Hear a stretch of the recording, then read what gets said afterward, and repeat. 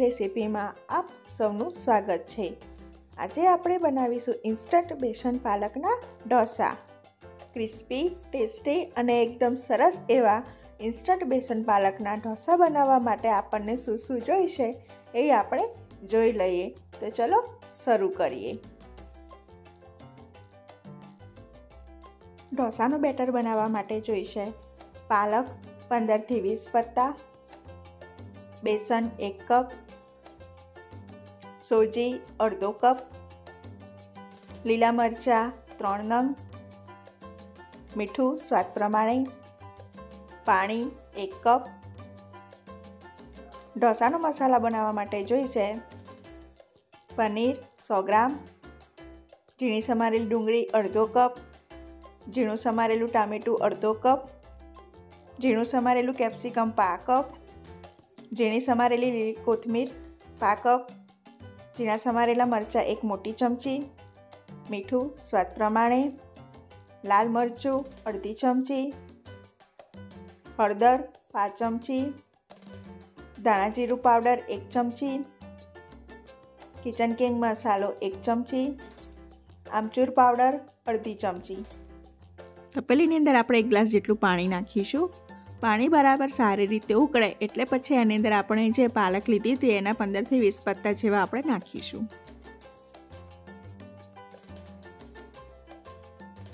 હવે આપણે અહીં ગેસની ફ્લેમને બંધ કરી દઈશું અને એના ઉપર આપણે ઢાંકણ ઢાંકીને એને દસ મિનિટ સુધી રેસ્ટ આપીશું.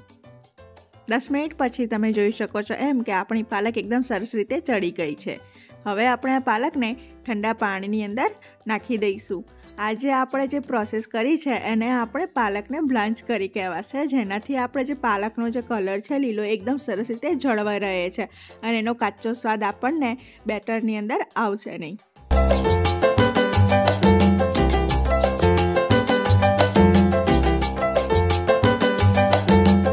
હવે આપણે જે પાલક છે, એમાંથી આપણે બધું વધારાનું પાણી બધી સારી રીતે નીચોવીને કાઢી દેવાનું છે.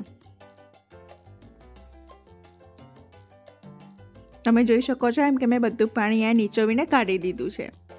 હવે બેટર બનાવવા માટે મિક્સર જારમાં એક કપ જેટલું બેસન, અડધો કપ જેટલો સૂજી અને ત્રણ નંગ જેટલા લીલા મરચાં નાખીશું. મીઠું સ્વાદ પ્રમાણે નાખીશું અને જે આપણે બ્લાન્ચ કરેલી પાલક હતી એ નાખીશું અને એક કપ જેટલું એની અંદર આપણે પાણી નાખીશું.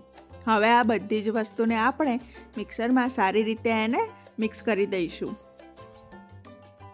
તમે જોઈ શકો છો એમ કે આપણું મિશ્રણ એકદમ સરસ રીતે બનીને તૈયાર થઈ ગયું છે. એને આપણે એક તપેલીમાં લઈ લઈશું. તમે જોઈ શકો છો કે એમ આપણું બેટર એકદમ બનીને સરસ એવું તૈયાર થઈ ગયું છે. હવે ઢોસાનો મસાલો બનાવવા માટે આપણે ઝીણું સમારેલું ટામેટું અડધો કપ, ઝીણું સમારેલી ડુંગળી અડધો કપ, ઝીણું સમારેલું કેપ્સિકમ પા કપ, ઝીણી સમારેલી કોથમીર પા કપ ઝીણા સમારેલા લીલા મરચાં એક મોટી ચમચી અને છીણેલું પનીર સો ગ્રામ જેટલું લીધું છે.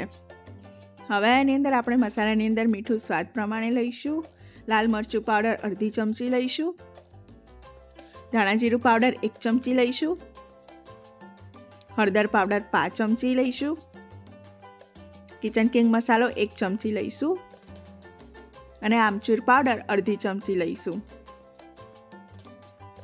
અને આ બધી જ વસ્તુને આપણે સારી રીતે મિક્સ કરી લઈશું.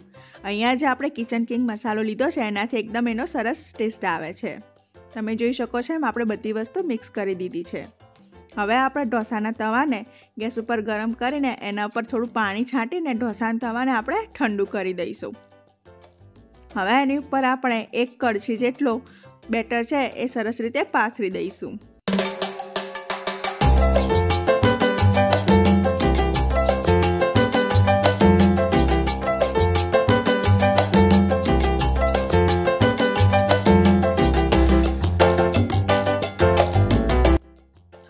ઉપર અને એની ચારે બાજુ આપણે થોડું થોડું તેલ લગાવી દઈશું કે જેથી કરીને આપણો ઢોસો છે એકદમ સરસ રીતે ચડી જાય અને એકદમ ક્રિસ્પી તૈયાર થાય.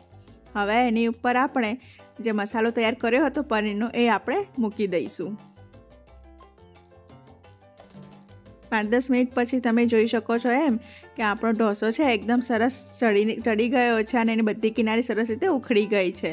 હવે આપણે ઢોસાને આવી રીતે વાળી લઈશું. હવે એને આપણે એક પ્લેટમાં લઈ લઈશું. ઢોસાને તમારે ક્રિસ્પી કરવો હોય તો તમારે એને ધીમા તાપે જ એને ચડવવાનો.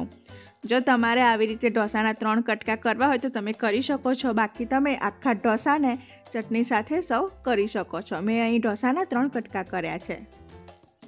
અહીં આપણે ઢોસાને કોથમીર અને પુદીનાની ચટણી અને ટામેટાની જે ચટણી બનાવી છે, એની સાથે સર્વ કરીશું. તો તૈયાર છે આપણા સ્વાદિષ્ટ અને ક્રિસ્પી એવા અને મોઢામાં પાણી આવી જાય તેવા ઇન્સ્ટન્ટ બેસન પાલકના ઢોસા. તમે પણ તમારા ઘરે જરૂરથી બનાવજો અને મને કોમેન્ટમાં કરજો કે તમારા ઘરે કેવા બન્યા હતા. જો તમે મારી ચેનલને હજી સુધી લાઇક શેર અને સબસ્ક્રાઈબ ના કરી હોય, તો મારી ચેનલને હમણાં જ તમે લાઇક શેર અને સબસ્ક્રાઈબ કરો. તમે મારો વીડિયો જોયો, એના માટે આપ સૌનો ખૂબ ખૂબ આભાર.